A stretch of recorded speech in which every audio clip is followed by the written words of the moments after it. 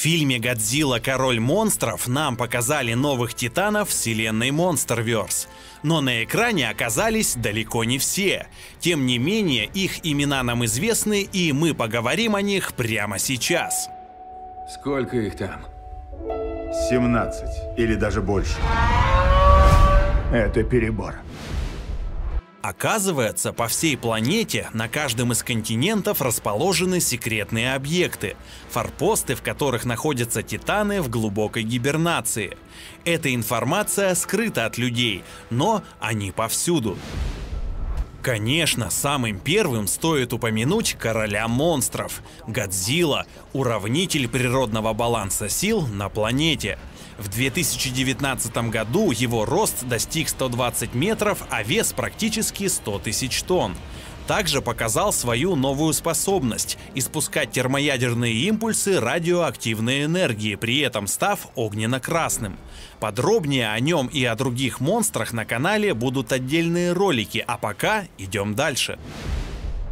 На объекте под номером 32 в Антарктике находился Монстр 0, замороженный во льдах. Его имя Титанус Гидора, или по-другому Кин Гидора, гигантский трехглавый дракон Дайкайдзю. В фильме он представлен как древний инопланетный кровожадный альфа-хищник, который готов побороться с Годзиллой за господство на Земле. Его высота достигает почти 160 метров, а масса 141 тысячу тонн. На объекте под номером 56 в Исла-де-Мара был пробужден Титанус Родан, который буквально вылез из жерла вулкана. Он обладает биовулканической природой и может излучать тепло температурой до 1200 градусов имеет агрессивный характер, но предан альфе. При полете своими массивными крыльями может создавать звуковой удар грома и уничтожать целые города. Его высота 154 фута, вес составляет 39 тысяч тонн, а размах крыльев достигает 265 метров.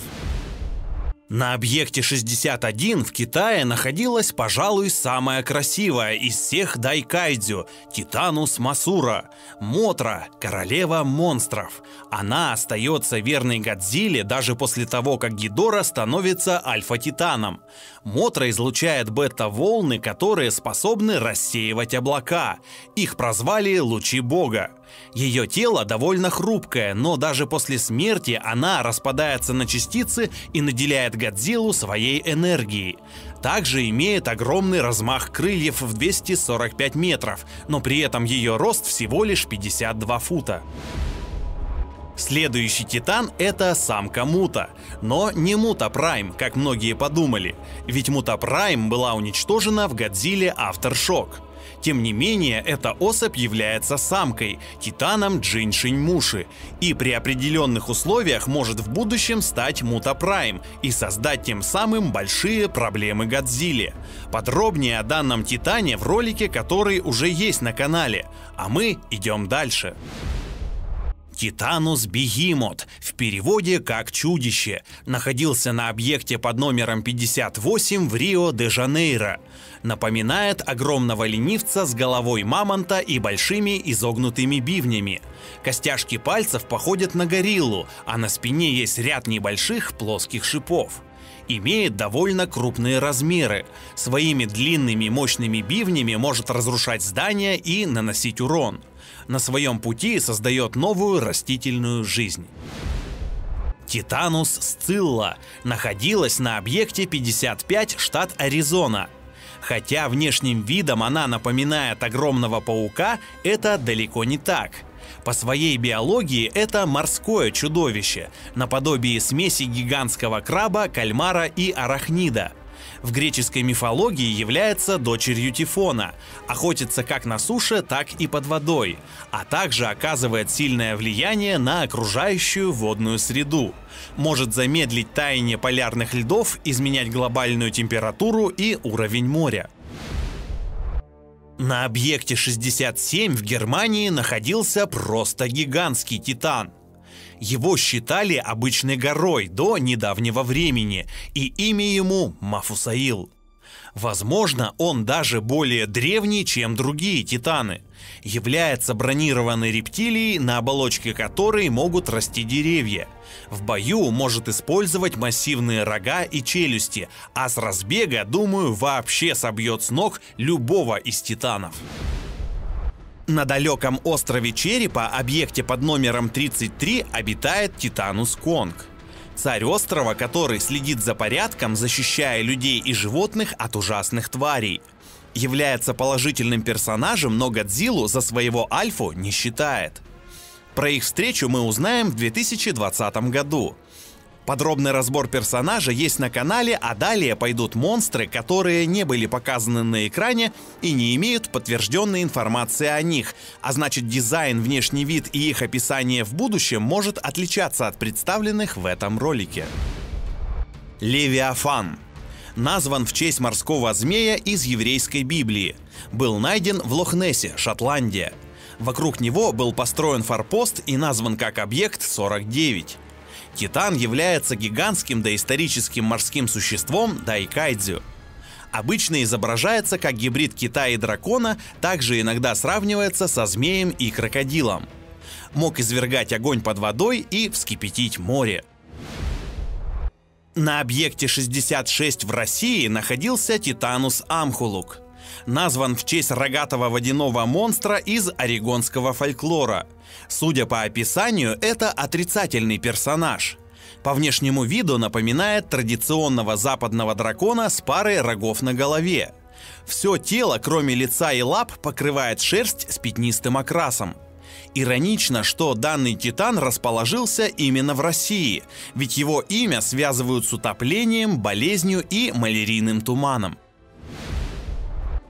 Титанус Сехмет был одним из многих дайкайдзю, которые начали атаковать человечество под руководством короля Гидоры. Он проживал на объекте 65 в Египте. Назван в честь богини войны и исцеления. В древнеегипетской мифологии является солнечным божеством, изображенным в виде львицы, чье дыхание образует пустыни. Может обладать способностями, связанными со стихиями воздуха и огня. На заставе 92 в Камбодже содержался Титанус Тифон, именуемый также как Тайфун. Он был одним из самых сильных существ в греческой мифологии, и в ней же он описан как отец Сциллы, змеевидный гигант, чудовищный и могущественный. Его имя отождествляется со смертью, опустошением, а также солнечным и лунным затмениями. Титан Бунип содержался на объекте 99 в Австралии. Он, так же как и многие другие титаны, не успевает прийти вовремя в Бостон, чтобы увидеть, как Годзилла становится новым альфой. Его имя взято из австралийской мифологии аборигенов и переводится как «болотный дьявол» или «злой дух». Описания Бунипа, замеченного разными людьми, сильно отличаются друг от друга, поэтому у нас нет полного понимания, как он мог выглядеть. Титан Ямато Ноорочи. Назван в честь восьмиглавого дракона из японской мифологии. Переводится как божество Великий Змей, разделенный на восемь частей. Находился на объекте 91 в Японии. Согласно описанию, имел 8 голов и 8 хвостов на одном теле, а длина его покрывала расстояние в 8 долин и 8 холмов. Можно подумать, что Орочи — это восьмиглавая Гидора, что, конечно же, не так. Он больше похож на Гидру земного происхождения, и, возможно, каждая из голов наделена индивидуальной силой и способностями. В штате Вайоминг на ванпосте 77 проживал Титанус Абаддон. Его имя встречается с ударением на каждый из слогов. Абадан, Абадан, Абаддон – Неизвестно, имеет ли Титан связь с ангелом, у которого монарх позаимствовал кодовое имя, но упоминается как ангел смерти и разрушения, который возглавляет армию Саранчи. Могу предположить, что монарх выбрал это название, потому что за исполинским телом монстра тянется шлейф из более мелких существ-паразитов, которые уничтожают все на своем пути. Тиамат был найден в Стоун-Маунтин в США, штат Джорджия. Вокруг него был построен аванпост номер 83. Описывается как многоцветный пятиглавый дракон. Возможно, относится к природным элементалям, и каждая из его голов отвечает за свою стихию является олицетворением первобытного океана хаоса соленых вод, из которого родилось все, в том числе и боги. Отсюда могу предположить, что Тиамат, как и Мотра, положительный персонаж. Бафомет был демоническим существом, которому поклонялся культ, связанный с тамплиерами. Вокруг него был построен аванпост под номером 68 в Марокко – Бафомет был создателем четырех ангелов апокалипсиса. Неизвестно, много ли общего с этим демоном имеет Титанус Бафомет, или это лишь огромное чудище с головой козла, которое имеет демоническую природу, но явно добра от него ждать не стоит. Титанус Кицалькаатль назван в честь мезоамериканского пернатого бога-змея. Находился на аванпосте Монарха 57 в Мачу-Пикчу. По внешнему виду и названию, похоже, является положительным персонажем. Изображается как гибрид сказочной птицы Кицаль с ярко-изумрудным оперением и змеи Каатль гигантских размеров. Является богом ветра и воздуха, олицетворением мудрости и плодородия – Макеле Мбембе прозван монархом так из-за внешнего сходства с зауроподным криптидом, хотя между ними мало общего. Ходит на четырех толстых ногах, на которых имеются когти. Его голова напоминает безухого слона с развернутыми вниз бивнями. Массивный змеиный хвост используется как оружие. Способен разрезать пополам крупное животное или разрушить дом – Спина покрыта галькой, достаточно прочна, чтобы выдержать ракетный взрыв. Его пасть имеет множество острых зубов. А на макушке головы имеется изогнутый рог, пульсирующий очень слабым зеленым светом.